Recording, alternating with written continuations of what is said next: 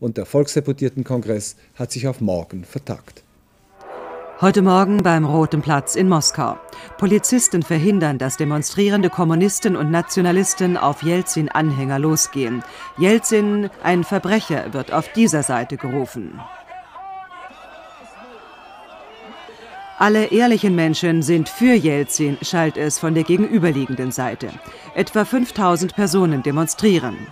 Er ruft nieder mit den Kommunisten. Die Töne auf dem Roten Platz sind unversöhnlich. Präsident Jelzin, noch am Morgen hatte er unter anderem zwei kritisierte Reformpolitiker aus der Regierung entlassen. Ein Zückerchen für seine konservativen Gegner.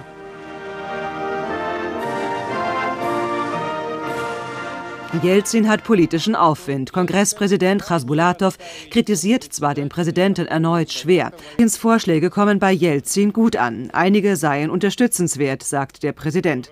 Aber von der umstrittenen Volksbefragung will Jelzin weiterhin nicht abrücken. Hingegen verspricht er mehr soziale Programme, um Härten der Wirtschaftspolitik zu mildern.